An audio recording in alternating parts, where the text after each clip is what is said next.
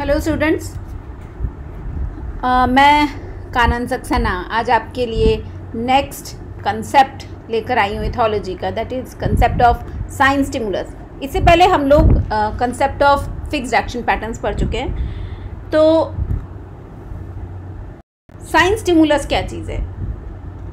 किसी भी fixed action pattern को बाहर निकलवाने के लिए एलिसिट करवाने के लिए एक सिंपल स्टिमुलस की आवश्यकता होती है, जिसे हम साइन स्टिमुलस कहते हैं। साइन स्टिमुलस को हम की स्टिमुलस नाम भी दे सकते हैं, या फिर उनको रिलीजर्स भी कहा जाता है।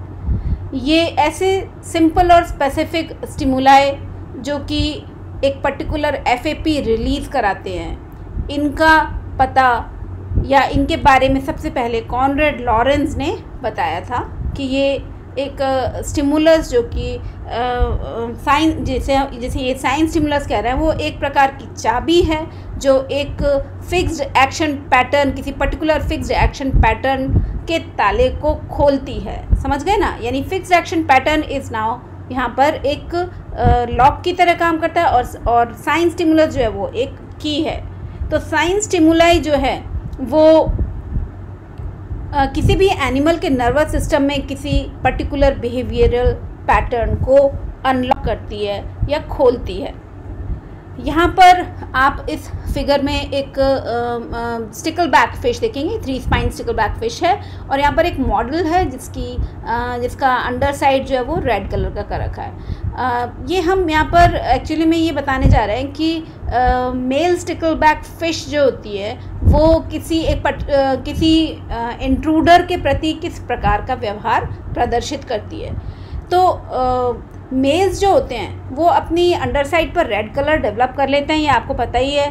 और रेड कलर जो होता है इनकी बेली पर वो एक प्रकार का साइन स्टिमुलस होता है जो कि जो इनका कौन स्पेसिफिक होता है, दूसरा मेल स्टिकल बैक होता है, उसके अंदर एक प्रकार का एग्रेसिव बिहेवियर प्रदर्शित करवाता है उनसे। इसी ये जो बिहेवियर है aggressive behaviour after seeing the red belly is just a type of territorial behaviour तो साइंस स्टिमुलस जो होता है, वो बिल्कुल स्पेसिफिक होता है। एक particular type of fixed action pattern he release करवाता है। तो इसके कई सारे एग्जाम्पल्स हैं यहाँ पर दिए हुए, जैसे कि यूरोपियन रॉबिन जो होता है, अगर वो किसी दूसरे यूरोपियन रॉबिन के टेरिटरी में जाए तो वो यूरोपियन रॉबिन जो अपने जो उसके ब्रेस्ट पर जो रेड फैदर्स होते हैं, उनको एक्सपोज कर देता है और उससे एक प्रकार का ये व्यवहार प्रदर्शित, वो अपना एग्रेसिव या टेरिटोरियल बिहेवियर को एग्जिबिट करता है। हेरिंग गर्ल्स के चिक्स जो होते हैं उसमें हेरिंग गर्ल में हम देखेंगे कि जो बीक होती है उस पर एक रेड स्पॉट होता है। और जो चिक्स होते हैं जब उनको भूख लगती है तो वो उस रेड स्पॉट पर बार बार पैक करते हैं और हेरिंगल जो है वो फ़ूड को रिगर्जिटेट कर देती है। रिगर्जिटेट मतलब उसके जो अंदर क्रॉप में उसके जो फ़ूड होता है उसको बाहर निकाल देती है। इस फ़ूड को हम क्रॉप मिल्क भी कहते हैं। लेकिन जब तक चिक्स पैक नहीं करते उस रेड स्पॉट को, तब तक जो हेरिंगल मदर है वो फ़ूड को रिगर्जिटेट नहीं करती। ऐसे ही एक एग्ज़ाम्पल है सॉन्ग बर्ड्स का। सॉन्ग बर्ड के चिक्स जो होते हैं वो ब्लाइंड होते हैं एक्चुअली तो क्या होता है कि जब वो उनको भूख लगती है तो वो अपनी मतलब देख नहीं सकते अपनी मदर को। तो अगर उनके नेस्ट पर ज़रा सा भी उसको नेस्ट को अपने आप, अपनी फिंगर से अगर जर्क देते हैं हल्का सा तो वह एकदम से अपनी बीक्स अपना माउथ जो है वो ओपन कर देते हैं। और ये सोचते हैं कि उनकी मदर आ गई है और उनको फ़ूड मिल जाएगा। तो ये एक्सपेरिमेंट परफॉर्म करके देखा जा सकता है। जनरली ये होता ही है कि जैसे ही मदर जो होती है मदर सॉन्ग पर जैसे ही नेस्ट में आती है तो वो जर्क लगता है उसको, जैसे आके रेस्ट करती है उस पर नेस्ट पर।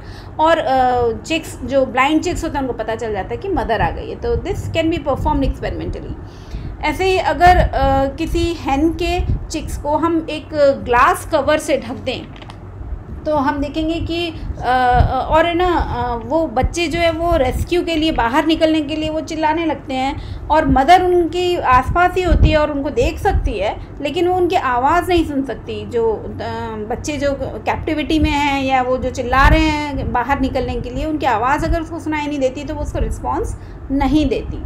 और अगर इन्हीं चिक्स को अगर एक पर्टिकुलर वुडन पार्टीशन लगा दिया जाए और उन चिक्स को दूसरी साइड पर रख दिया जाए और उनकी आवाज़ मदर तक पहुँच रही हो तो मदर या जो हैन जो है वो एकदम से उधर दौड़ी हुई जाएगी और रेस्पॉन्ड रेस्पॉन्ड करेगी अपने बच्चों की डिस्ट्रेस क्राइज को।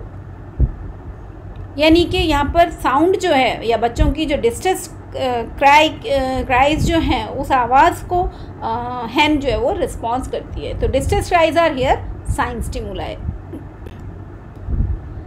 तो साइंस स्टिमुलाई ज़रूरी नहीं है कि, आ, कि एक ही हो साइंस स्टिमुलाई कई सारे भी हो सकते हैं या कई सारों का कॉम्बिनेशन भी हो सकते हैं। जैसे कि हेरिंगल में मैंने आपको बताया था कि जो रेड स्पॉट होता है, उसको देखकर बच्चे जो हैं वो रिस्पॉन्स रेड रेड स्पॉट पर पैक करते हैं और फिर मदर जो होती है वो मदर जो हेरिंग गर्ल है वो फ़ूड रिगजिटेट कर देती है।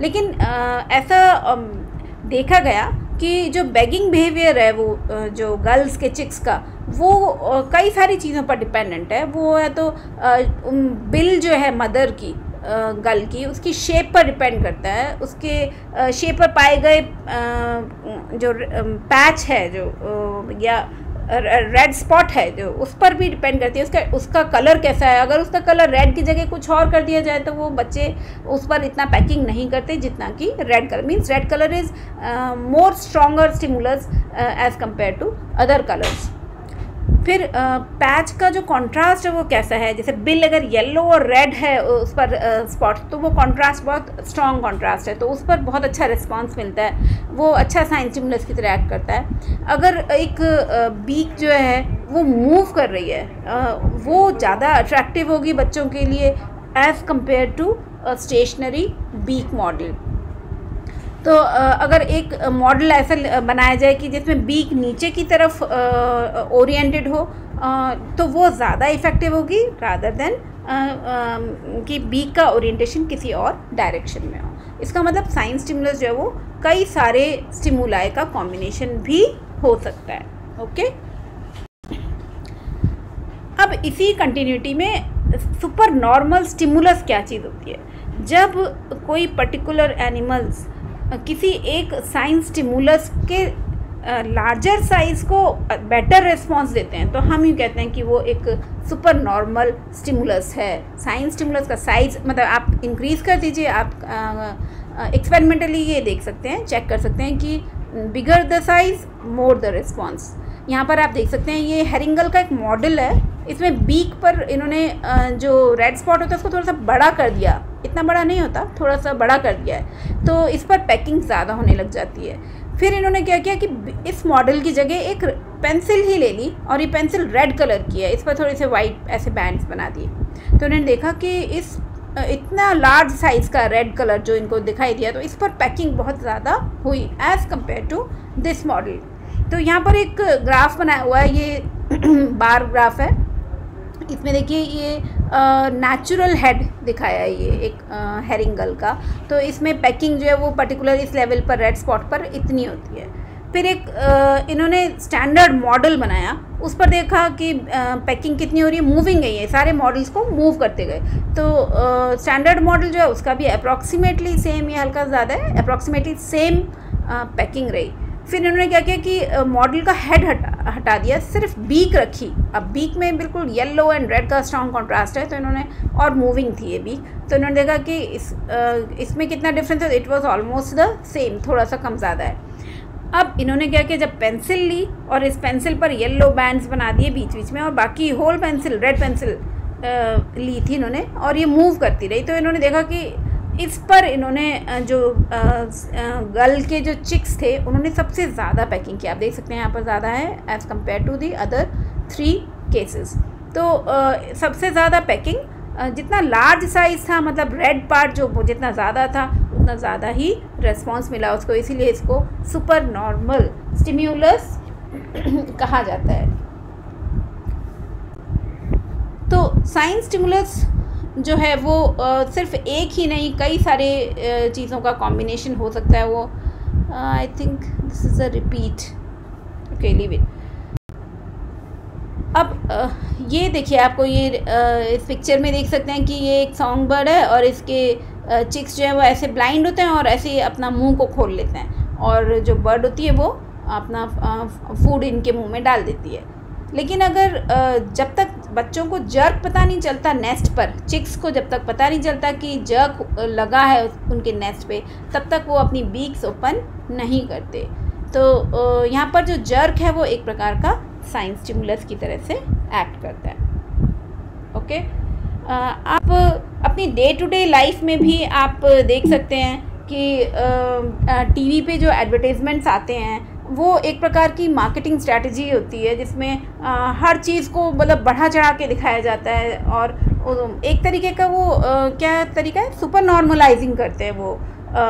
स्टिमुलाई को। तो क्या है कि हमको बोलेंगे कि आप ये वाला टूथपेस्ट यूज़ करिए, इसमें सॉल्ट है, आपके दांत बिल्कुल वाइट रहेंगे। इसमें आप ये वाला सोप यूज़ करिए, आपकी बॉडी आपकी स्किन बिल्कुल सॉफ्ट रहेगी। आप ये वाला शैम्पू यूज़ करिए, आपके हेयर मतलब किस बहुत अच्छी कंडीशन के हो जाएँगे आपका, या आपके हेयर बिल्कुल स्ट्रेट हो जाएँगे, बहुत शाइनी हो जाएँगे। या पर्टिकुलर किसी ऑयल का अगर एग्ज़ाम्पल दे देते हैं कि ये हार्ट के लिए हेल्दी है।